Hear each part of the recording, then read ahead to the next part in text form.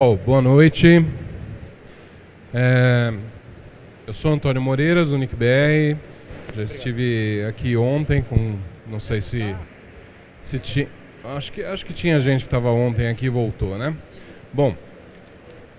É, vamos falar agora, vamos ter uma palestra agora sobre cloud computing né, com um advogado. Mas vocês veem que é um advogado com um estilo meio diferente, né? Que o cara, em vez de usar um notebook com Windows 7 ali, ele está usando uma plaquinha que é um, uma versão aprimorada de um Raspberry Pi ali, rodando Android. Porra, nem eu que sou engenheiro tenho um negócio desse para brincar. Eu vou entrar ali no computador enquanto ele está falando, já vou lá no, no dx.com e vou encomendar o meu Raspberry Pi, porque eu fiquei com vergonha agora, né? Então, o Walter é, é advogado, é lá do Rio de Janeiro. Ele é coordenador do curso de... de quê? Direito Eletrônico da Emerge, né, da Escola de Magistratura lá do Rio. E ele vai falar sobre cloud computing na visão de um advogado, né? Quais são aí as implicações jurídicas disso? Acho que você deve falar de espionagem também, toda essa coisa, né? Então, a palavra está com, com o Walter aí. Bem, senhoras e senhores, boa noite. É um prazer estar aqui com vocês. Eu fico muito feliz em poder participar de um evento tão importante. Quero agradecer o gentil convite do meu amigo Moreiras, do apoio do Edwin, e trazer para vocês aqui o meu objetivo, uma visão, como a própria palestra está dizendo, o tema, uma visão de um advogado da cloud computing. O que, que tem de bom, o que, que tem de ruim, porque ela é algo extremamente presente na nossa vida. Tudo que a gente faz hoje em dia, basicamente, é cloud. Às vezes, não então, o meu objetivo aqui, usando a minha Cub Truck, e eu não ganhei nada para participar, assim, não estou fazendo merchan, é falar sobre o que é a cloud computing, quais são os problemas e quais são as sugestões de solução que eu gostaria de apresentar. Posso lá? Primeira coisa, vamos ver aqui, tudo que é a primeira vez assim é meio emocionante. Por favor, não falhe. Isso. Uma introduçãozinha. Basicamente, aqui uh, em relação a cloud computing, ele ficou meio, meio tímido. O que é cloud computing? Eu trouxe, em primeiro lugar, um conceito da tecnologia. Trouxe aqui um conceito do, da Amazon. Conceito bem tecnológico, ou seja, é o fornecimento de recursos de TI sob demanda por meio da internet. Aí vem a primeira questão. Será que tudo que a gente faz hoje em dia não é cloud, ainda que não seja com esse nome? Postar no Foursquare, ouvir música, uh, Facebook, você tem suas fotos e acessa suas mensagens de qualquer lugar. Então tudo é cloud. E eu fiz aqui um conceito meu jurídico. O conceito meu jurídico é esse. Por favor, vamos lá. Isso. Advogado pensa sempre em contrato. Então, para mim, cloud compute nada mais é do que o um contrato. Um contrato que você assina com Twitter, Facebook, SoundCloud, Foursquare. Você não sabe ou você não percebe, mas você já assinou centenas, centenas de contratos, muitas vezes sem ler. Sem ler. Então, cloud computing, para mim, é contrato. Para a Amazon, é ceder recurso. Mas a cloud computing também tem uma outra questão importante, que é basicamente que eu falei tudo você deixa tudo na nuvem para acessar em qualquer lugar. Você não tem só um computador. Você tem o seu computador, seu tablet, seu smartphone e você quer acessar aquele mesmo conteúdo de vários computadores, de vários lugares, sem ter o trabalho de levar pendrive. A gente quer matar o pendrive, a gente não quer se preocupar em pegar aquele arquivo, copiar para o pendrive ou para o HD e andar. Jogo na nuvem e me preocupo depois. Mas aí tem uma questão também que a gente é incentivado pelo serviço de cloud a, a basicamente deixar tudo na nuvem. Por exemplo, esse serviço Box, ele dava 5 GB de espaço. Ele fez uma promoção há duas semanas atrás dizendo o seguinte: se você baixar o aplicativo de smartphone, eu acho que de iPhone e de Android, você vai ganhar 50 GB de espaço de graça. 50 GB de cloud é muita coisa. Então, você está sendo cada vez mais incentivado a jogar suas coisas na internet. Outra coisa também interessante, veja lá também o. o Foursquare, deixa, se ele ajudar aqui a gente, Foursquare, com devido respeito ao Foursquare, pensando como advogado, para que serve o Foursquare, gente? Por que você tem a necessidade de contar para todo mundo onde está? O que você ganha com isso? Você ganha essas lindas medalhinhas. Mas o que você faz com essas medalhinhas? Tem alguma utilidade? São poucas situações em que você vê utilidade. Vou dar um exemplo. A, a, a livraria Saraiva, quando você faz check-in numa das suas lojas, eu não sei se aqui em São Paulo é assim, mas no Rio é, você ganha 5% de desconto. Tudo bem, ele deu uma utilidade. Mas veja, a internet está incentivando cada vez mais. Olha, eu tenho espaço, eu tenho braços abertos para você. Coloque tudo que você tem aqui com a gente. Mas aí a gente ficou muito triste porque descobriu o seguinte: a gente descobriu que o governo americano espiona a gente. Isso só é novidade para quem não, não conhece a comunidade hacker. Desde o início dos anos 90, sempre existiu aí uma é, suspeita que o FBI monitorava todo mundo. Mas com o escândalo do Snowden, do Edward Snowden, a gente não sabia que era tão grande assim. Ou seja, tudo que você faz na internet, inclusive na nuvem, principalmente na nuvem, acaba sendo aí copiado, transmitido e, e transferido. Mas a culpa não é só dos americanos. Veja que essa figura simpática do Putin, uh, quando foi feita uma reunião do G20 lá na Rússia, uh, o governo russo presenteou a todas as autoridades dos outros países um pendrive russo. E um diplomata da, Bulgar, da Bélgica foi analisar o pendrive e encontrou malware. Primeira dica de advogado: nunca aceite um pendrive de um espião russo. Já é uma dica. Então o que acontece? Mas não é só os Estados Unidos, não é só a Rússia. Agora, se, acho que foi anteontem, saiu isso aqui, para nosso espanto e pavor. Gente, Angry Birds está espionando a gente aonde esse mundo vai parar? Um joguinho que era para ser tão simples, tão humilde e inocente, está espionando a gente. Vocês acompanharam isso? Não estão sabendo? Angry Birds está espionando a gente. Isso não foi um, um boato de, de, conversa, não foi um, um, chat. Saiu no jornal The Guardian. Basicamente, o Angry, Birds, já, já até passou aqui o slide. Basicamente, o Angry Birds, o que, que ele é? Ele é um aplicativo e ele tem um módulo de publicidade. Esse módulo de publicidade não é americano, não é, não é da, europeu, é de uma empresa americana. E a NSA fez uma conversa com a empresa americana e pelo aplicativo de, de publicidade, ele tem acesso a tudo que você faz.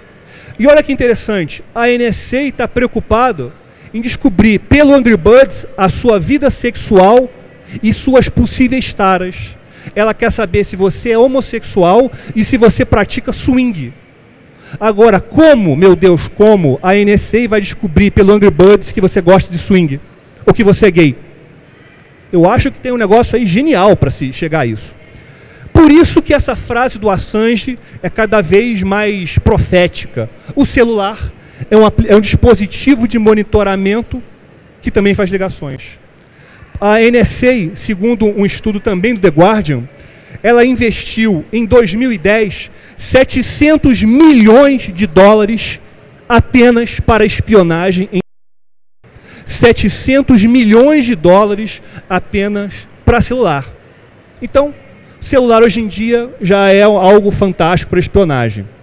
Bem, essa situação da cloud computing. Mas quais são os problemas que a gente tem aí? Em primeiro lugar, vou passar para a parte então, dos problemas. Se Deus quiser, e o negócio aqui não travar. Ele fica meio tímido. Essas coisas sempre acontecem nesses, nessas situações aqui. Deixa eu passar aqui para o mouse. Pronto. Primeiro problema. Eu falei para vocês que cloud computing é um contrato para mim. Mas você lê as cláusulas desse contrato? As pessoas não leem nem os contratos em papel. Quando e até as declarações. Quando você vai num hotel e eles te dão aquele termo de check-in, você lê? Quando você para para ler, o, o, cara do hotel diz o seguinte: não precisa ler. Você é incentivado a não ler. Parece que você está desconfiando das pessoas. Mas a minha profissão tem como uma das uh, uh, um dos princípios, se é que pode dizer assim, não confiar muito nas pessoas. Não é por minha causa, é por causa da minha profissão. Então eu tenho que ler tudo. E quando você lê esses contratos, você percebe o quanto eles são abusivos. Primeira coisa, esses termos de serviço que a gente assina são chamados uh, contratos, contratos de adesão.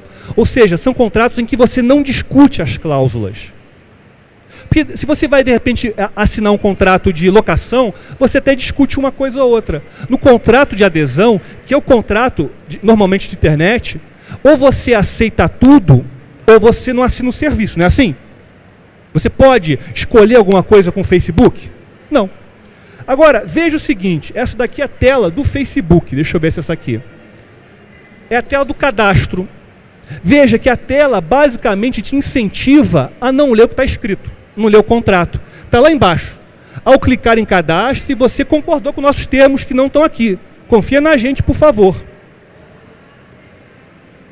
O grande problema é que esses termos estão cada vez mais complexos, até mesmo para a gente do direito. Olha só. Essa daqui é uma pesquisa que eu fui inspirado por um professor americano que deu uma palestra em 2010 aqui na FAP, em São Paulo. Ele falou algo muito interessante ele falou que o termo de serviço do Facebook tem mais palavras do que a Constituição americana. Ou seja, a lei mais importante do país, mais importante do mundo, tem menos palavras do que o Facebook, do que o contrato que você assina com o Facebook sem ler. E ele é repleto de cláusulas que não são favoráveis a vocês. Eu separei duas exemplo, aqui embaixo, essa lei 9507 é a nossa lei do habeas data. É a nossa lei é, de um processo para descobrir informações sobre vocês. Ele tem menos de duas mil palavras. A do Facebook, quando analisei, tinha quase 7 mil. Olha a discrepância e a complexidade. Eu separei duas cláusulas que me chamaram a atenção pelo abuso. Veja, eu não tenho nada contra ou nada a favor dessas empresas. Estou olhando aqui como advogado. Essa cláusula do, da Apple, da, do iTunes, eu chamo de cláusula Ná. Por quê? Ela tenta adivinhar o que você vai fazer. Olha só, se você deixar de cumprir, e aí vem o, o bonito agora, ou se a Apple suspeitar que você deixou de cumprir qualquer cláusula do contrato, qualquer disposição do contrato, esse contrato pode ser rescindido e você não recebe nada. Agora, como é que a Apple, lá em Cupertino, na Califórnia, sabe que eu, Walter, no Rio de Janeiro, estou planejando de, de, respeitar o contrato? Ou ela está me monitorando, ou ela tem um vidente que lê mente. Porque, ainda que você tente suspe... Eu pensei, caramba, eu acho que eu vou botar um jailbreak no meu iPhone. Aí eu, o vidente lá, mentalizei, ele rescinde meu contrato. Ou seja, é uma cláusula totalmente absurda e que, analisando pelo direito brasileiro, ela não tem validade nenhuma. Porque você, pessoa física, numa relação com uma empresa de cloud computing, qualquer delas, você é um consumidor. E você pode judicialmente, mesmo que você tenha assinado, mesmo que você tenha assinado, você pode dizer o seguinte: essa cláusula é abusiva Portanto, eu quero que ela seja considerada inexistente. O que a gente no direito chama de inválida ou nula. Está muito jurídico aí, gente? Dá para entender? Agora, outra cláusula absurda é até de um serviço que eu gosto muito, que é Dropbox. Eu traduzi para o português e essa cláusula é um pouco cara de pau com, com data vênia. Olha que diz: você e não o Dropbox é responsável por tudo por, por manter e proteger seus dados. Se apagar, ele quer dizer, se apagar, problema é seu. Mesmo que você seja um usuário pago. Será que isso não é injusto? Para o direito brasileiro, olha só, gente, para o direito brasileiro, não importa se você é o consumidor pago ou não pago, se você está pagando ou não. A partir do momento que você tem uma relação de consumo com uma dessas empresas, se ela fizer uma cláusula dessa, se ela apagar os seus arquivos, você pode pleitear na justiça uma responsabilidade civil, um dinheiro. Olha, eu tinha 5 GB de contratos da minha empresa, ou de dados dos meus clientes. o Dropbox perdeu, eu quero uma indenização. Você pode pleitear. O Dropbox vai dizer, mas você assinou. Mas o que, que você vai dizer? É uma cláusula abusiva. É uma cláusula em que a empresa de cloud, de cloud retira a responsabilidade dela. Ela fala, olha, se der problema, problema é seu. Isso, desculpa, no direito brasileiro não tem qualquer é, validade. Mas a gente tem mais outros problemas, é, uma outras questões importantes, algumas cláusulas que deveriam estar nos contratos, mas não estão. Em primeiro lugar, aonde seus dados estão hospedados? Você sabe? Ninguém sabe. Ninguém sabe. Ah, mas o Facebook, o, o Google uh, é uma empresa americana. Mas você não sabe se seus dados são nos Estados Unidos. Podem estar na, Orlando, na Irlanda, na Islândia. Isso é importante porque aonde os seus dados estão guardados, a lei daquele país, a legislação vai incidir, vai, vai trabalhar. Então imagine que a lei da Islândia, onde, está os seus dados, onde estão os seus dados, diga o seguinte: a, o poder a, a polícia pode olhar as suas informações sem ordem judicial. Se seus dados estão nesse país, vão aplicar. Outra coisa, será que a empresa, se, se ela, vai, ela vai recuperar os seus dados se eles forem apagados? Você não sabe. Ela vai fazer backup? Com qual frequência? Qual é o programa? Se a empresa fechar, o que, que ela vai fazer com seus dados? Ela vai jogar num zip drive e mandar, mandar pelo correio? Vai botar tudo em pendrive e jogar pela janela, botar num balão? E um que é muito complicado, ela vai comunicar incidente se alguém tentar invadir ou se alguém invadir? Isso é muito interessante, porque quase nenhuma delas fala nada. Mantém um sabe se seu site foi invadido, se seu serviço foi invadido, ou se houve aí uma tentativa de invasão. Outra questão importante. Quer que eu volte aqui para você tirar foto? Na hora que você for tirar foto, desculpa. Espionagem. Como é que funciona essa espionagem 2.0? Os Estados Unidos possuem essa lei, uma lei de 78, veja, não foi uma lei criada por causa do 11 de setembro. Foi uma lei que surgiu em 78 e que por causa do 11 de setembro ela ficou mais rígida, que essa lei aqui FISA. Ela é o ato seria a lei da investigação da, da, da inteligência estrangeira, dos, dos, dados de um estrangeiro. Ela é interessante por quê? Porque ela tem um tribunal secreto. É como se fosse. Sabe aquela reunião que o Vaticano faz e sai a fumacinha? Sabe? Você vê que quando tem a fumacinha preta, a fumacinha branca, não, não tem? Você, a fumacinha preta, a fumacinha branca é, é uma decisão. Aqui a FISA Court ela é uma, um tribunal composto de sete juízes que tem um mandato de, um mandato de, um mandato de sete anos, e a decisão deles é secreta, você não sabe qual é a fumacinha deles.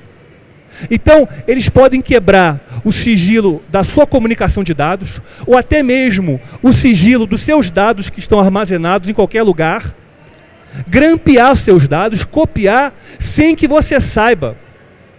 Nunca. Nem previamente Aqui no Brasil, a gente tem uma lei de, de interceptação de dados. É a Lei 9296 de 96. Ela autoriza o juiz, num processo, a permitir a quebra da comunicação de dados, mas ela comunica posteriormente ao investigado. Aqui você nunca vai saber. Nunca. Por quê? Segurança. É o que eles dizem. Mas essa lei, ela tem aí uns requisitos. Alguns requisitos é o seguinte: ela deve respeitar o, o, o cidadão americano e aquele cidadão que seja residente nos Estados Unidos. Como é que ela vai descobrir pela internet que você é um mexicano, mas que mora nos Estados Unidos? Mas que está acessando seus dados, de repente, do Panamá ou da Grécia. Então há o risco de atingir um cidadão até americano mesmo. Ela deve respeitar a quarta emenda da Constituição Americana, ou seja, deve existir uma decisão judicial, no caso daquele tribunal FISA, o prazo máximo de um ano. Veja bem, gente, a legislação brasileira admite 30 dias de interceptação. Um ano é muita coisa da tua vida. Imagina, seus e-mails de um ano. Quanta coisa íntima sua, do seu trabalho, acaba descobrindo. E último requisito, deve ser uma solicitação conjunta do procurador, do procurador geral e do diretor da inteligência nacional. Ou seja, tem toda uma formalidade, mas como eu falei para vocês, ela é secreta. E ela pode, inclusive, pegar tudo de um, de um. Olha, eu quero todos os dados do Gmail de um determinado brasileiro. Pode, pode. Veja como ela viola a nossa privacidade. Agora, esses aqui são famosos slides da NSA, considerados os piores slides do mundo em termos de, de organização. Tem aí o programa Prism, né? é um exemplo de como não se faz slide. Então, tem o programa Prism, que, ou seja, é o programa tecnológico de grampo. Então o que acontece? Todas as empresas, é, Google, Microsoft, dizem que não colaboraram com. Estão dizendo que esse slide é mentira, que elas não colaboraram. E é uma suspeita de que a, a NSA estaria fazendo grampo não nos servidores, mas no próprio cabeamento da internet. Quer dizer, o mais baixo nível em todos os sentidos. Né? Em termos de tecnologia, em termos mesmo de atuação. Outra questão também aqui importante Veja que basicamente tudo. Ele, como a internet é gigantesca e você assina vários serviços de nuvem, você coloca tudo na nuvem. O objetivo dele é fazer um retrato seu, pegar o máximo possível de tags, metatags, arquivos e montar um mosaico da sua personalidade. Olha como isso é perigoso. Mas veja bem, a ideia da FISA foi de proteger os Estados Unidos contra a ameaça terrorismo, terrorista, contra a Al-Qaeda, contra não sei quem mais, contra. Mas o negócio não é, não é bem assim. Porque em alguns casos você percebe um, um abuso. E esse caso aqui, para mim, é um, é um caso que ao mesmo tempo engraçado e triste. Triste porque ele nos remete àquele famoso. É, a, a explosão em Boston, lembrado da maratona? que dois irmãos, que eu acho que a ascendência ucraniana, eles colocaram bombas, eles transportaram em mochilas pretas uh, bombas em panelas de pressão que explodiam, que explodiam uh, na, no, na maratona com intervalo de 13 segundos. Agora pensa numa família, tem um computador. A mãe que queria saber pelo Google receitas de, em panela de pressão. O pai, preocupado com a maratona de Boston, com o terrorismo, pesquisou no Google terrorismo na maratona de Boston. E o filho procurou a mochila preta. Então a gente tem mochila preta, panela de pressão, maratona de Boston. O que, que deu nisso? No dia seguinte, essa família recebeu uma visita do FBI. Porque fez uma procura pelo Google, gente. Inclusive, a, a, a, agente da FBI perguntou: que receita a senhora vai fazer com essa panela de pressão? Pediu para ela explicar a receita, para provar que ela é terrorista. Olha o, o, grau de ridículo que você chega num cidadão americano. Quer dizer, se a gente. Tá, se, se o americano também está sofrendo, imagina a gente. Então, quer dizer, a gente falou em terrorismo, mas olha só.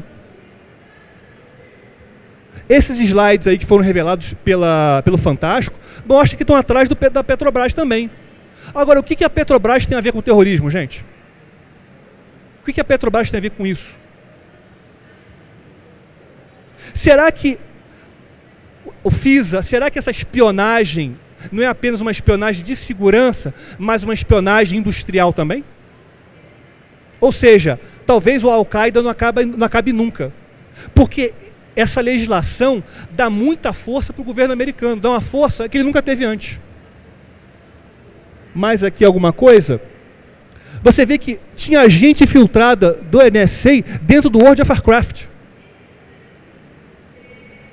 Olha isso, gente. Você não pode confiar no Angry Birds. Você não pode confiar no World of Warcraft. Aquele duende que está conversando com você pode ser um espião. Então, invoque o direito de silêncio, inclusive no World of Warcraft. Se alguém fizer uma pergunta uh, suspeita pelo World of Warcraft, invoque seu direito com o sinal de silêncio. Pelo menos isso. Olha que grau de ridículo nós estamos chegando.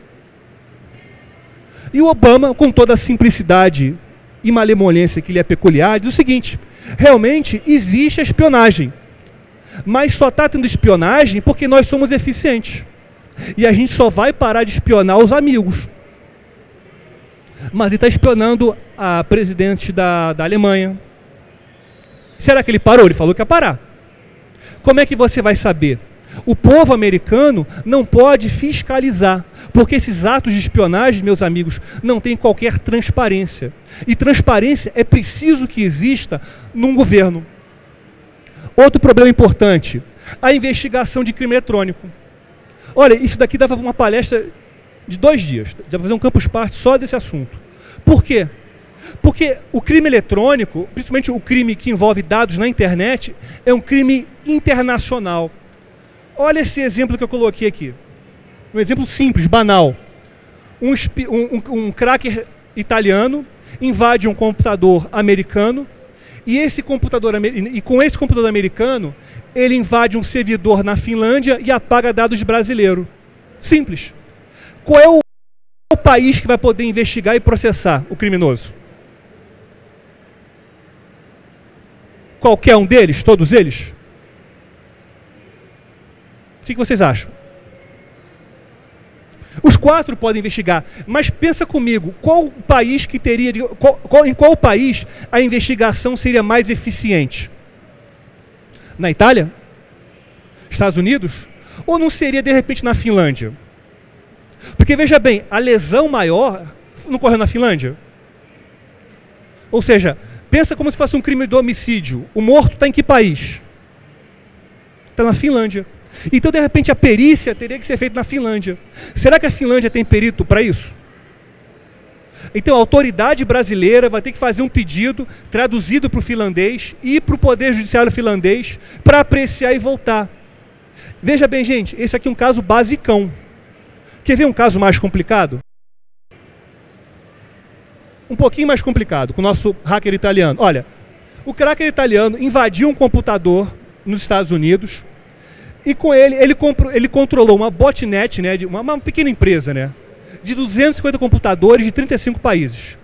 E ele fez um ataque de negação de serviço a uma empresa que possui sete servidores em cinco países. Quem é que vai investigar para sair? Olha, isso daqui é uma botnet de brincadeira. Não é verdade? Botnet 250, meu amigo. Isso aí a gente. Botnet tem milhares de computadores. E derruba aí talvez milhares de servidores. Essa aqui é uma botnet Mirim. Como é que você ia investigar aqui? A gente tem aqui, na, no mínimo, no chute, pelo menos 35 países. Imagine uma investigação que esteja envolvendo 35 países. Não vai terminar nunca. Até lá o, o crime já prescreveu, ou seja, o, o, o crime não pode mais ser, ser, ser investigado ou condenado. Olha como é é complicado. E esse exemplo que eu, que eu mostrei para vocês não precisa ser muito especialista para você fazer um negócio desse. Tem programinha que faz botnet, não tem isso, gente? Isso não pode dizer qual por razões de justiça, né? De... Então o que acontece? A, a, a, jurisprudência brasileira ela já admite o número IP como uma prova jurídica. Mas o grande problema nesse, nesse julgado do STJ, do Superior Tribunal de Justiça, é que ele está, com devido respeito, um pouquinho errado. Porque o número IP, vocês são especialistas, sabem melhor do que eu, não, não identifica é, o, o usuário. Ele identifica o computador. A rede. Exatamente, se for uma rede. Melhor, melhor identifica a rede. Se você tiver uma rede local, para efeitos. Esse exemplo você dá melhor ainda. Ele identifica a rede, nem o computador, a rede. Porque para efeitos externos, a rede só tem aquele IP e ela tem um IP interno, exatamente. O teu exemplo é melhor ainda. Extrapola. Ou seja, você identifica a rede. Até você chegar ao criminoso é muito mais complicado, é muito mais difícil. E aí vê outras dificuldades em relação. Uh, uma questão que a gente briga muito em relação à guarda de log. O Marco Civil, esse projeto de lei uh, 2126 de 2011, ele estabelece um ano. Eu vou dizer para vocês, em todas as palestras que eu participei com o pessoal de TI, 99% das pessoas que lidam com TI dizem para mim que guarda de log é impossível, é algo absurdo, é algo que vai onerar muita empresa, que é uma vergonha. Vocês concordam com isso? Quem é que acha que guarda de log deve ser aplicada? Olha, que bom. Olha, acho que uns 10 está bom. Uns 10. É- não, você não concorda? Você não sabe? Eu vou tentar te convencer até o final. Olha, eu, eu conversei com um professor lá do César de Recife, esqueci o nome dele, um, rapaz brilhante. Ele falou o seguinte, Walter, esse negócio de guarda de log, que as empresas dizem que não pode, é uma balela, porque cada vez mais o storage é barato. Dá para você fazer guarda, a guarda de log tranquilamente. E a guarda de log, gente, serve para proteger a empresa também, porque como meu amigo ali falou muito bem, quando um crime é praticado, o IP é da empresa. E, a, e o log pode dizer o seguinte, olha, partiu da empresa, mas foi aquele funcionário X que praticou o crime. Estão entendendo? Então, log também serve para resguardar a empresa. E o Marco Civil estabelece aí um prazo de um ano. Outra coisa, uma decisão do STJ, antes, porque o Marco Civil é um projeto de lei. Enquanto ele não virar lei, ele não vai ter validade jurídica. É como se fosse uma versão beta. Uma decisão do STJ entendeu aí que o prazo para ser aplicado é de três anos. Ou seja, a gente não tem uma lei determinando, mas o STJ, numa decisão jurídica, falou que o prazo é de três anos. Há uma recomendação do comitê gestor, mas para provedores de acesso, aguardar no mínimo três anos. Está certíssimo, está certíssimo. Mas é uma recomendação, ou seja, não tem caráter impositivo. Até vocês, se vocês quiserem, eu posso depois disponibilizar essa palestra, o slideshow. Se eu estiver correndo muito, eu disponibilizo na minha página, eu deixo aqui na página do, do, do Campus Party, não sei. Thor. Thor também é, uma, de certa forma, uma, uma, um obstáculo para você chegar ao criminoso. Eu já vi pessoas falarem o seguinte, que hoje em dia é possível você rotear toda a rede Tor e descobrir o IP originário. Eu, é verdade isso, gente? É possível? Teoricamente. Mas você tem que ter acesso a todos os nodes. Não é isso? Não? A NSA conseguiu? Mas olha, o caso da NSA, eu, eu, fiquei sabendo do caso do Silk Road. Silk Road era um, era um site na, na, Deep Web de venda de drogas. Mas acontece que eles fizeram o seguinte: eles disponibilizaram uma versão do Tor com Firefox com malware. Quer dizer, ele não quebrou a corrente da. Ele não quebrou a sequência do Tor. Ele colocou um malware no, no Firefox, que roda no Tor. Foi o que eu ouvi falar. Agora, se é verdade ou não, eu não sei te dizer.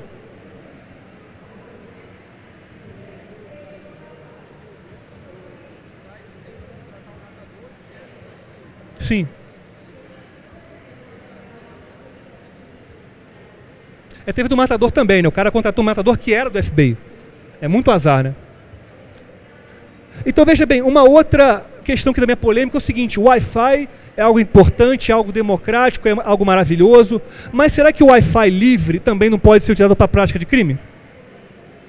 Não estou aqui criticando, estou discutindo. Porque é maravilhoso você poder acessar, todo mundo poder acessar, acessar a internet de qualquer lugar. É fantástico. Mas será que também, utilizando IPs abertos, é, redes abertas, ele não vou estar também mascarando o criminoso? Aí a gente tem que ver o que é mais importante. O que, o que é mais importante? Garantir o acesso à população à internet ou, de certa forma, permitir que crimes sejam praticados? Mas ainda assim é uma iniciativa muito louvável. Lei Carolina Dickman, gente. Eu, eu, essa lei dava quase que um, um filme. Mas o que eu quero falar para vocês, rapidinho, um filme sem fotos dela, claro. É o seguinte, o nosso Código Penal, meus amigos, é de 1940. Ou seja, está desatualizado. Em 2012 saiu aí uma, uma versão nova, né? É, é, uma modificação no Código Penal, criando crimes de invasão de, de dispositivo informático. Ou seja, um, foi um projeto de lei que foi votado em nove meses. Será que um, uma lei que é criada em nove meses pode ser algo bom? Agora, essa lei, ela pune a invasão? Quando vocês leiam no jornal leram no jornal, não ficou parecendo que era algo legal. Caramba, nós temos uma lei de cybercrime no Brasil, estamos salvos. Pessoas se abraçaram na rua, foi uma festa. Gente, não é nada disso. Na minha modesta opinião, e eu tenho discutido muito nos eventos, é uma lei que mais dificulta a aplicação, o combate do crime, do que facilita. Porque veja bem, é uma lei que ela não pune a invasão ela pune a invasão de dispositivo informático, conectado ou não à rede de computadores, mediante violação indevida de mecanismo de segurança e com o fim de obter, adulterar ou destruir dados e informações sem autorização expressa, ou taça do titular, ou dispositivo, ou instalar vulnerabilidades para obter a vantagem ilícita. Tudo isso aqui são os requisitos que a lei estabelece. Se eu quiser invadir o seu computador para de curiosidade, não é crime. Eu tenho que invadir com a finalidade de instalar vulnerabilidade, destruir dados ou adulterar informação. Hackear por, por, por, por graça não tem. Hackear para. craquear, melhor dizendo. Para é, é, é, ver se seu site é muito seguro ou não, não é crime. Aí vem a questão: o que, que é dispositivo informático? É o tablet? É o computador? É o, esse aparelhinho aqui que, que a gente está usando? É o Raspberry Pi? O que, que é? Eu não sei. É a geladeira? Eu sempre dou exemplo com acesso à internet que já existe botnet de geladeira, por que pareça. Olha a mente humana onde foi levar. E olha como a lei é injusta. Só é crime se você invadir um computador que tenha segurança. O computador do seu avô, do seu pai, tem segurança? As pessoas não sabem instalar impressora, gente. Colocar aquele modo Portrait Landscape, 90% das pessoas não sabem fazer, não sabem fazer isso. Uma coisa tão básica. Quer dizer, a gente, gente é num país que não tem inclusão digital. Você acha que as pessoas sabem configurar criptografia, TrueCrypt, instalar firewall? Não sabe. Mal tem aquela senha de login do Windows. O que a lei quer dizer é o seguinte: se você não sabe mexer em computador e não tem segurança, não é crime. A lei só, só pune o computador do camarada que conhece a segurança. Não é injusto? No Brasil, é injusto. E agora, se a gente estabelece que algo é criminoso, eu tenho que impor para aquele criminoso uma ameaça. Porque eu sempre digo, criminoso sabe fazer conta. O criminoso é muito bom de conta, melhor que qualquer um. Então, ele olha a lei, e olha, esse crime aqui eu não vou praticar porque a pena é de 8 a 12, eu vou pegar uns 10, eu vou sair com bom comportamento em um sexto, da, com 4 anos e tal. É, eles fazem essa conta, ele conhece a lei. Agora, será que esse crime de invadir computador, com todos esses requisitos, uma pena de 3 meses a um ano e multa, ela vai impor medo ao criminoso? Não vai, gente. O camarada que hackeou as fotos da Scarlett Johansson pegou uma, três fotinhas. Vocês viram? Não, né? Ninguém achou essas Alguém viu? Ninguém viu as Alguém viu? Ninguém viu. Poxa, não chegou aqui no Brasil. Então essas fotos da Scarlett Johansson, que não estão na internet, é, três fotos, o cara pegou 10 anos de cadeia.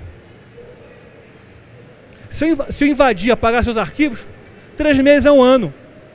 E eu digo o seguinte, isso acaba sendo uma medalha para o criminoso. Por quê? O crime de até dois anos, o criminoso não vai preso. Porque a, a, legislação tem uma política de você não misturar o, o mal criminoso, o criminoso grande com o criminoso pequeno. Então, ele põe medidas assim, olha, você, você invadiu um computador, então você vai pintar um poste, você vai dar aula para criança.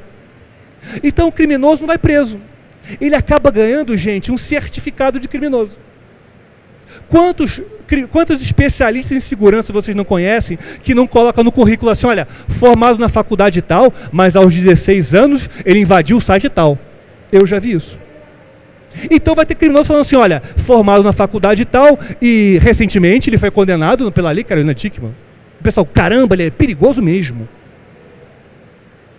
O cara é perigoso porque praticou um crime de três meses a um ano. Tudo bem.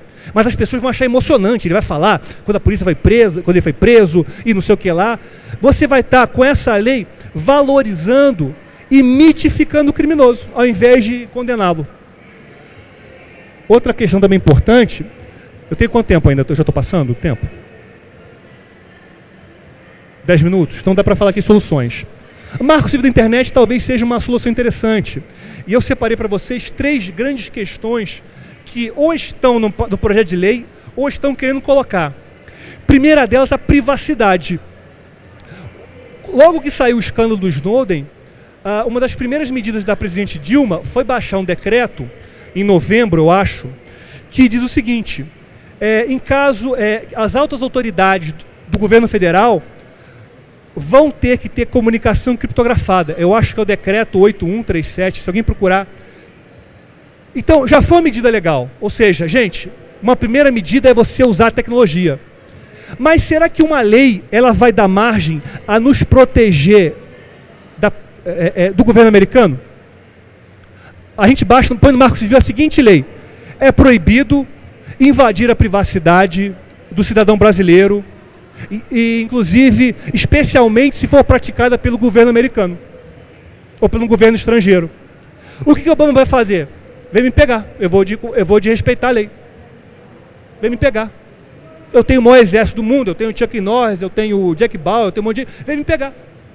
Ou seja, não dá para você fazer uma, uma queda de braço com a lei com, com uma nação, especialmente uma nação mais forte que você. Então, essa previsão legal de uma privacidade, especialmente de uma espionagem de, de um país estrangeiro, de, um, de outro país, não vai ser muito eficiente. A segunda questão, que eu acho que é a mais importante, e eu acho que talvez é uma, é uma questão quase que sagrada para quem lida com computador, é a neutralidade. Ou seja, é tratar, é até o Demi que diz isso, todos os pacotes de informação como se fossem iguais.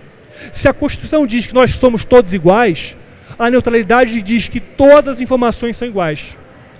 E, e as grandes empresas, os grandes players americanos não querem isso. Porque eles querem dizer o seguinte: olha, sem um, uma empresa pagar mais, ela vai ter mais acesso à internet. Ela vai ter acesso mais rápido à internet. Isso eu acho errado.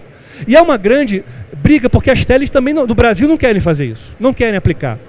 Mas a neutralidade é importante porque impede a censura, impede que se privilegie uma empresa, impede que se privilegie um país. Por exemplo, você não pode acessar do Brasil aquele site de vídeo ulu.com.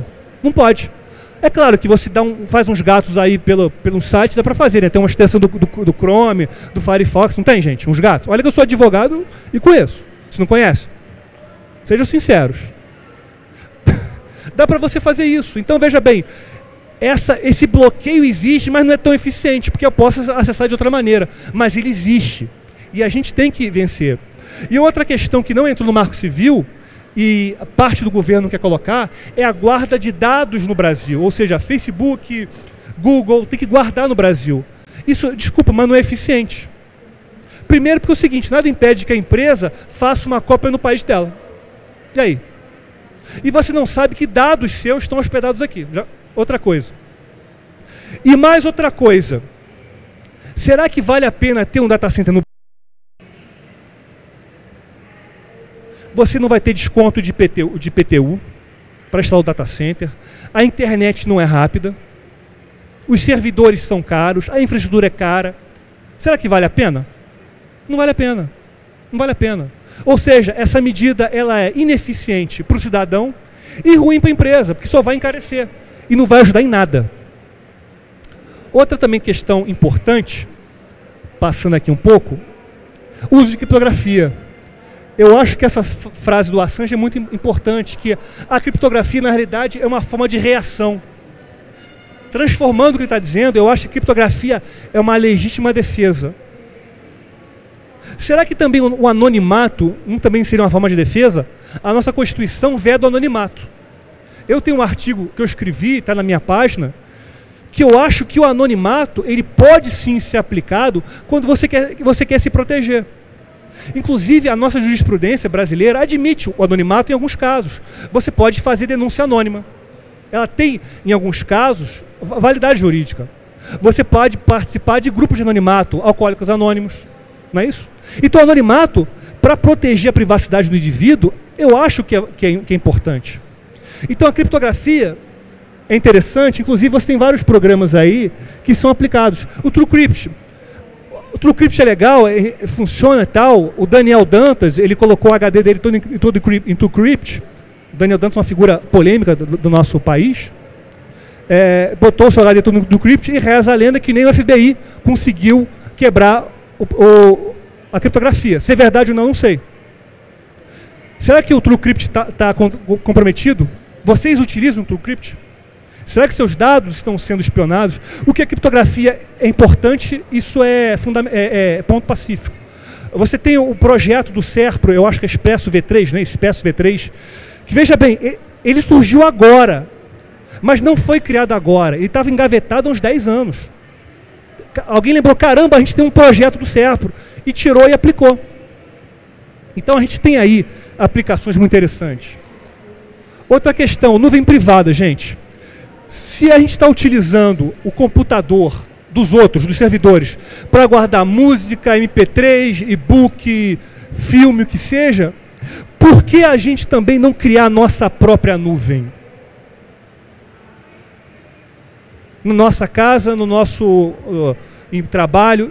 Veja bem, eu fazendo aqui uma, uma propaganda do, do, da KubeTruck. KubeTruck, e eu não, sou, eu não ganhei nada com isso, nem o mousepad da empresa, eu utilizo, é, é o que eu estou utilizando para dar palestra. É um computador simplesinho. Ele vem nesse, nesse 8 GB de NAND, ele vem com Android, ou seja, é um computador, gente, que roda Android. Para quem não sabe nada de computador, você não precisa digitar uma linha de comando. Você liga na tomada e, e sai. Entrega a Deus e agradece. Agora, ele tem é, é, possibilidade de você rodar Linux. Você pode rodar o Ubuntu nele. Você pode fazer um, um NAS nele. E nesse NAS você coloca seus arquivos, criptografa tudo, faz um, um, um, HD criptografado e coloca tudo lá. Ele tem baixíssimo consumo de, de energia elétrica. Eu acho que são dois, dois Lincoln, são quanto a, a, o consumo de energia elétrica dele? Dois, dois né? Dois, o quê? Dois volts? Acho que são cinco volts. Eu acho que são cinco. Agora, olha só, olha a beleza do negócio. É isso daqui, gente. Isso daqui tem mini SD, áudio, mini USB, USB, VGA, HDMI, é, entrada para rede. Aqui do lado ela tem uma entrada para HD SATA e você pode botar um, um HD SATA de notebook de 2,5 polegadas. Ou seja, você faz o, o seu Dropbox particular. E com criptografia você dificulta aí o acesso de, ou impossibilita o acesso de terceiros. Por último aqui, educação digital. Então veja bem, ali Carolina Dickman, ela pune aí aquela, aquela invasão de um computador de uma pessoa que soube se proteger. Mas nesse caso, meus amigos, é um caso que eu não sei se eu rio ou se eu choro. Uma senhora que ficou apavorada porque descobriu que o seu pendrive estava com vírus. Ela passou álcool no pendrive, passou álcool na casa toda e ficou intoxicada. E teve um acesso de pânico. Veja bem, é essa, com, com, com alguma alteração, talvez seja o usuário padrão. Será que essa senhora vai saber configurar? Olha, a senhora configura, a senhora bloqueia a porta 80 do seu firewall para né, não acontecer nada. Ela vai saber o que é porta 80 firewall? Não vai saber, gente. Então, como é que você pode estabelecer uma, pro, uma proteção para uma, uma, uma, uma senhora coitadinha que não sabe mexer com computador? A culpa não é dela. A culpa foi de quem largou o pendrive na mão dela. Então o que acontece? Eu acho muito interessante, por exemplo, essas iniciativas do, do, do, CERT de cartilhas. Eles tinham três ou quatro cartilhas, agora eu acho que tem umas 15 ou 20. É algo que eu acho fantástico. Tem um vídeo sobre spam, eu acho que é antispam.br, que é fantástico, tem animação para criança. É muito interessante, inclusive, que essas cartilhas você pode pegar lá na, lá no, no, no stand do Nick, não tem? Para poder pegar algumas? Você pode pegar as cartilhas, ou então você pode baixar em PDF do site cartilha.cert.br. E tem também, eu faço um pouquinho agora do Instituto Qualiza, que eu participo, eu sou coordenador jurídico, e a gente também faz trabalhos com criança, com, com idosos, trazendo essa questão da educação digital, entendendo como funciona, podendo é, é, é, saber como funciona é, explicando para o cidadão o que ele faz na internet ecoa na eternidade, né? parafraseando aí o filme Gladiador. Então, só para terminar, agora, o último item, política de segurança e informação. Isso é muito importante porque esse documento também é educação digital e também serve para o empregador, seja público ou privado, definir para o seu empregado, para o seu funcionário, o que ele não pode, o que ele pode ou não fazer, e, e se ele desobedecer, quais as sanções que ele pode sofrer. Então, o que eu acho importante é o seguinte, que o, o Conselho Nacional de Justiça, ele baixou uma norma dizendo que todos os tribunais do Brasil, federais, estaduais, devem ter a sua própria política de segurança da informação. E eu lá na escola da magistratura do Rio de Janeiro, onde eu coordeno o curso de direito eletrônico, eu elaborei para os juízes que participaram do curso essa cartilha. É uma cartilha que eles colocaram, eu acho que é em flash, eu não sei, e eu coloquei aqui o endereço no, no Bitly. Então o que acontece? Você pode ver conceitos muito básicos para um cidadão comum, que não conhece, que conhece muito o direito, mas que não conhece tecnologia. Então, questão de você usar rede Wi-Fi aberta, tomar um cuidado, criptografia, tudo isso. Então, eu acho que a ideia, até se vocês tiverem, se alguém quiser, tiver alguma crítica, olha, Walter, não é bem isso. Eu estou aberto a discussões, críticas e sugestões. E terminando mesmo, posso passar, gente? Está cansativo? Já estou terminando. Olha, estão falando mal do Snowden, que o Snowden é um traíra, que o Snowden é cruel, mas o que importa, meus amigos, é que o Snowden falou a verdade. O que ele falou é verdade está acontecendo.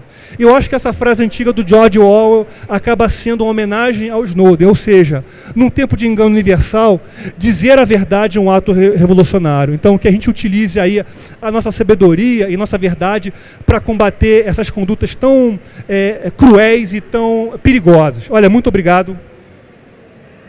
Agradeço a oportunidade de vocês. Pessoal, a gente tem uns minutinhos para perguntas, várias perguntas. Eu vou fazer a primeira. Essa apresentação está sendo feita do Cubeboard mesmo ou esse notebook aí embaixo? É do tá? Cubeboard. Se desligar aqui, tudo desaparece, gente. É do Cubeboard. Eu estou utilizando a USB para alimentar.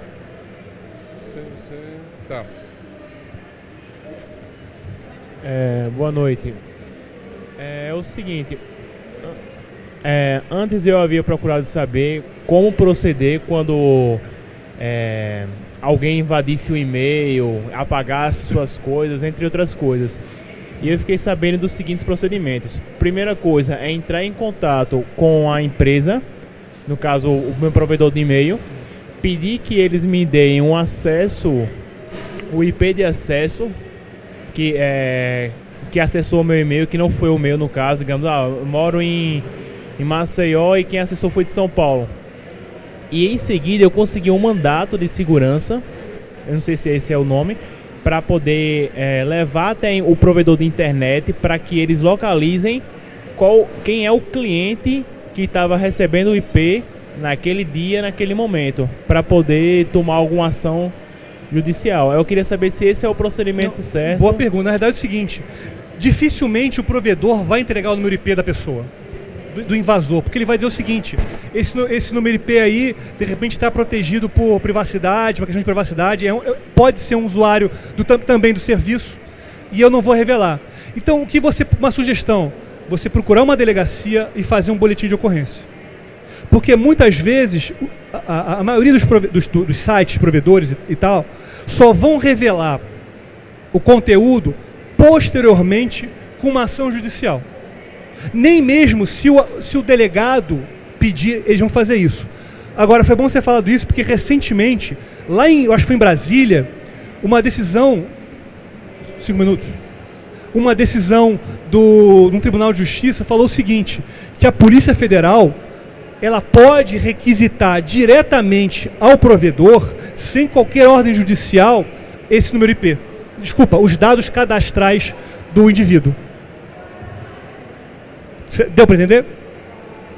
Mas o ideal é você procurar uma delegacia, fazer um boletim de ocorrência e relatar o ocorrido.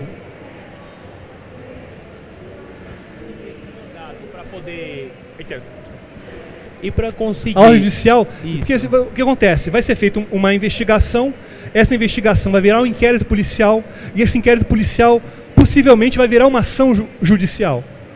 E nessa ação judicial, essa ação, essa ação criminal, vai ser discutida, vai ser pedida a quebra do, a quebra do IP. Ah, tá ok. Certo?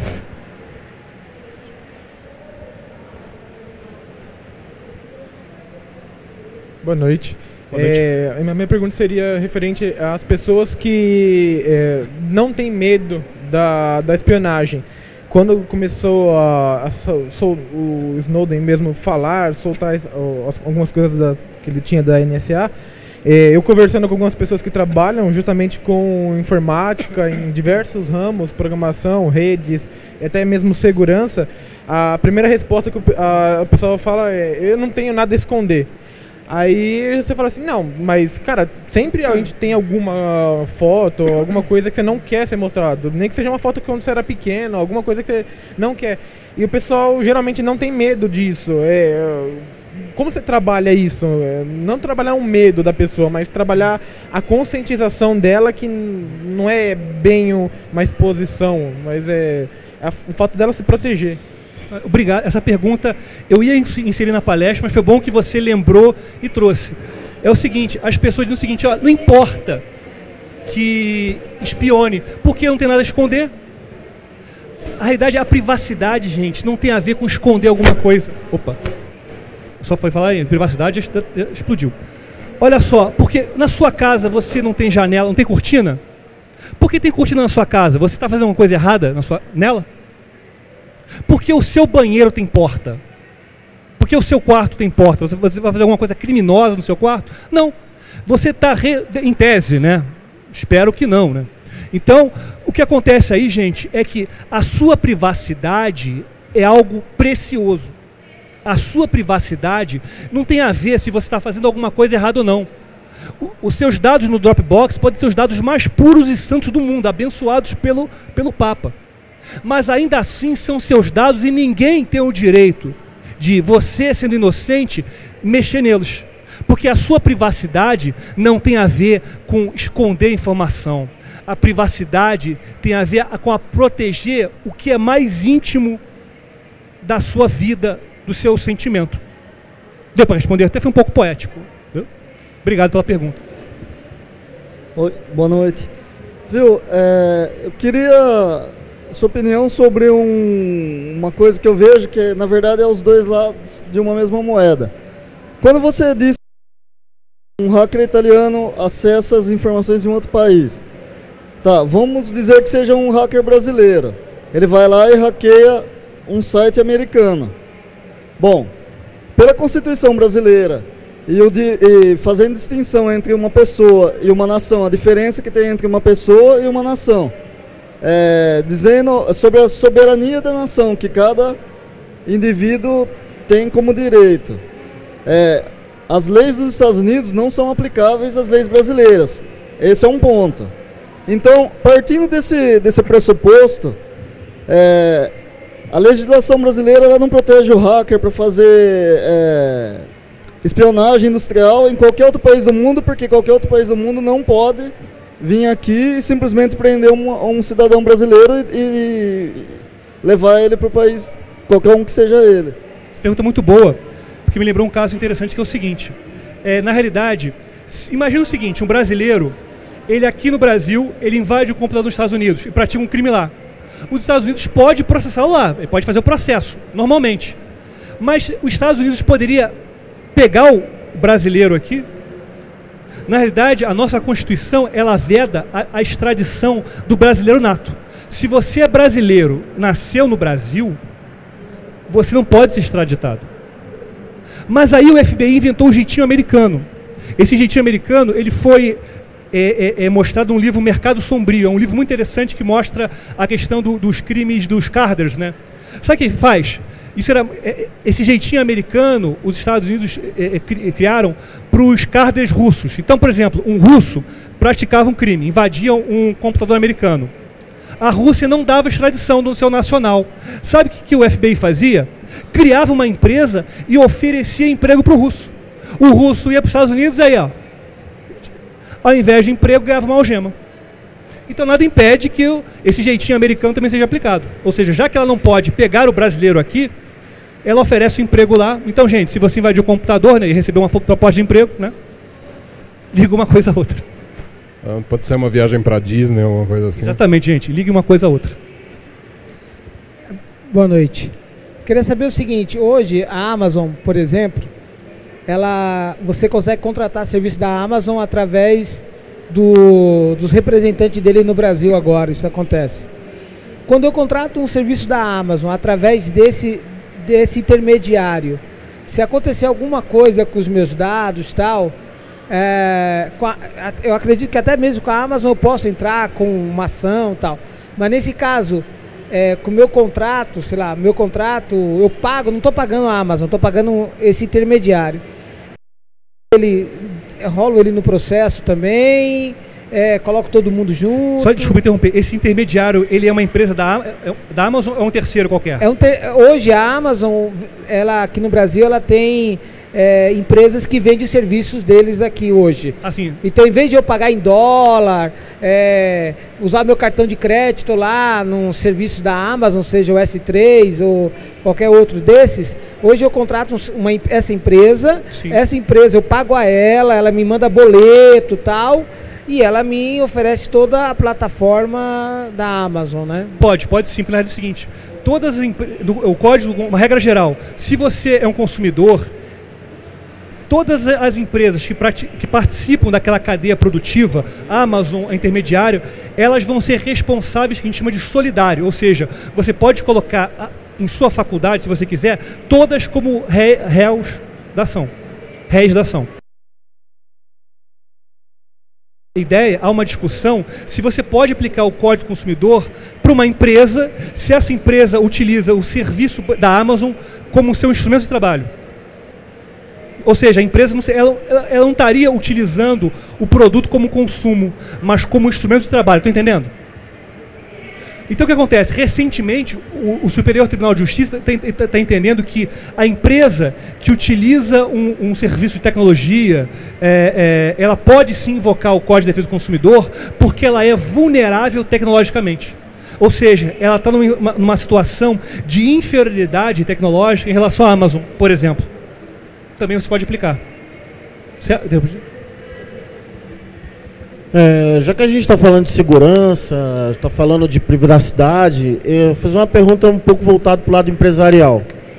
E, obviamente a gente sabe que boa parte das invasões não acontece de dentro para fora, parte delas acontece de, eh, perdão, de fora para dentro, de dentro para fora. Exatamente. Eu queria saber na área jurídica o que hoje existe que, por exemplo, um funcionário que usa os meios tecnológicos da empresa para proporcionar uma invasão e prejudicar a empresa, obviamente na área trabalhista ele vai ser dispensado, porque boas, boa parte das empresas tem uma política interna que compromete o trabalho dele. O que judicialmente, por exemplo, ele, ele é, é mandado embora Sim. e tudo, o que na área jurídica ele ainda pode continuar respondendo.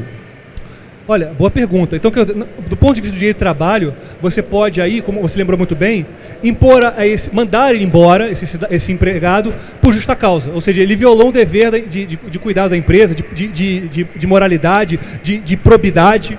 Você pode mandar embora, mas é que é importante, desde que você faça um, um procedimento administrativo, documen- documente isso, documente o que o cara fez de errado, porque senão ele pode, na Justiça do Trabalho, dizer que ele, que, que ele não fez nada.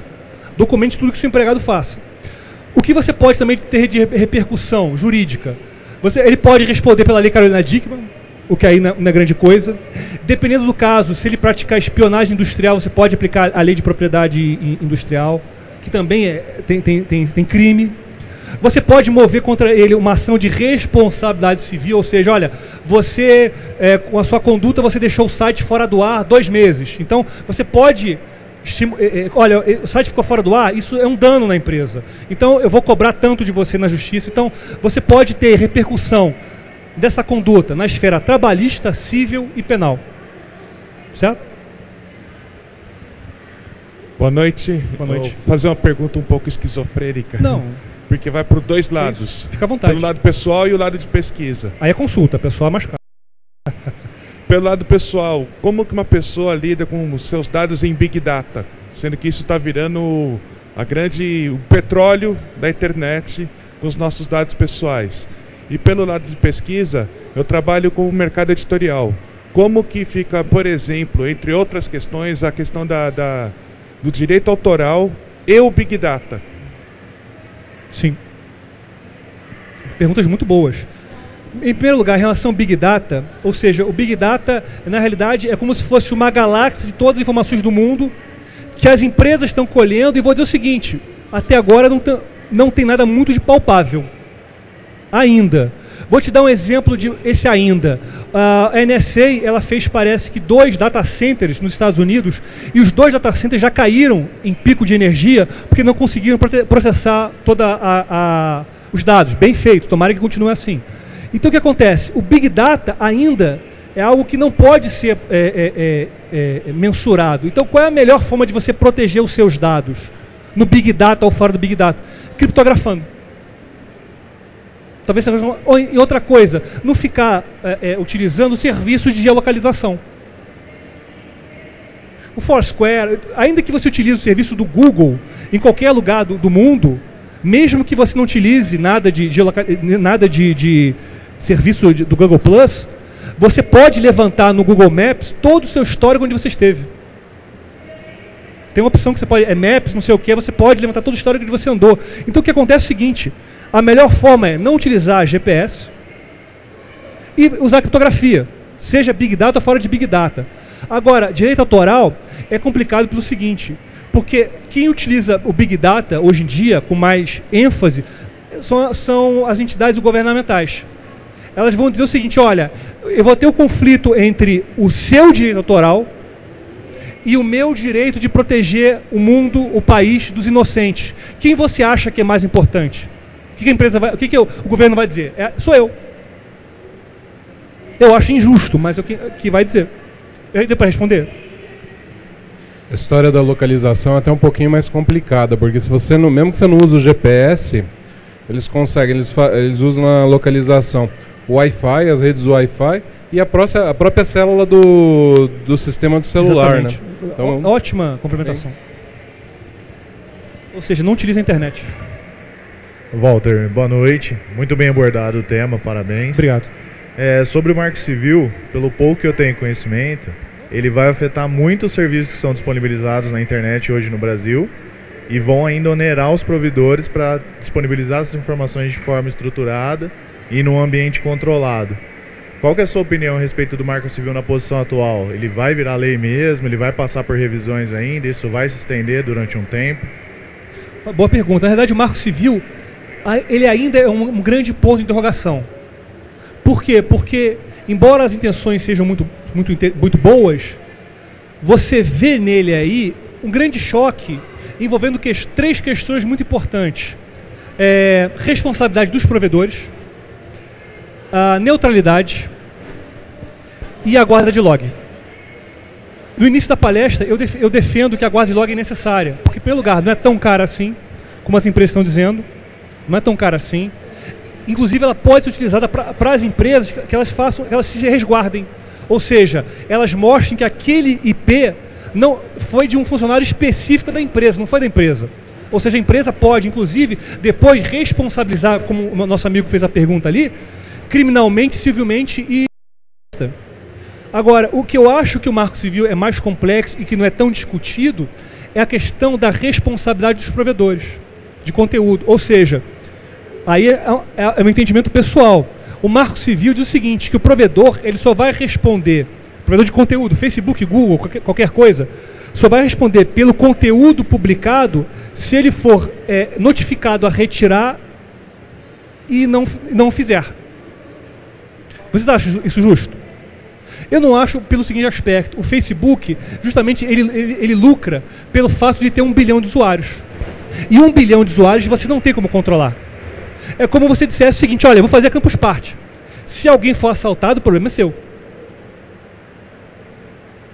Então o que acontece? O Facebook ele cria um, um, procedimento. Inclusive o Facebook não tem muita segurança, ou qualquer serviço não tem muita segurança. Quando você faz o cadastro, você pode colocar qualquer nome, não tem uma validação de, de, de, de informação. E com isso, qualquer pessoa pode colocar qualquer coisa. Então o que acontece? A gente está copiando no Marco Civil a legislação americana de responsabilidade civil que foi criada com o lobby dos grandes players. Então, eu, ao meu ver, eu acho até que no entendimento seja minoritário, o Marco Civil, nesse aspecto, não é muito bom. Mas em relação à neutralidade, ele é precioso. Desculpa se eu prolonguei muito. Pessoal, última pergunta agora aqui, tá? Porque a gente já até avançou um pouquinho no tempo do intervalo. Próxima palestra é sobre SDNs com o pessoal da HP, com o Rogério Timers. Ele já está por aqui? Eu não conheço ele pessoalmente, o Rogério já está ali. Então, última pergunta aqui. Boa noite. Uh, Boa noite. Uma questão é a seguinte: quando eu contrato algum, algum serviço de, de servidor dedicado ou diverso, pode ser compartilhado Desculpa, aqui, tô- tô velho. ah, caso que eu contrate aqui, e no Brasil, uma empresa brasileira, e no meu, no meu caso eu tenho o seguinte, ah, tem algum sistema, um sistema que eu tenho ah, que não pode, dizer assim, evi- evitar de sair do ar, né? A gente acaba contratando, às vezes, um- uma, uma infra, um po- a gente paga um pouco mais caro para manter aqueles dados aqui brasileiros, né? Caso essa empresa ah, não, na cláusula lá, quando a gente aceita lá o serviço, não diz nada sobre ela contratar um terceiro para prestando serviço a ela e a gente não sabe e vai que esses dados saia fora do país.